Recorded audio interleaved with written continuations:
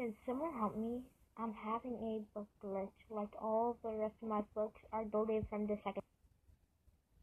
No kidding, I need an admin to help me with, with this. Get help.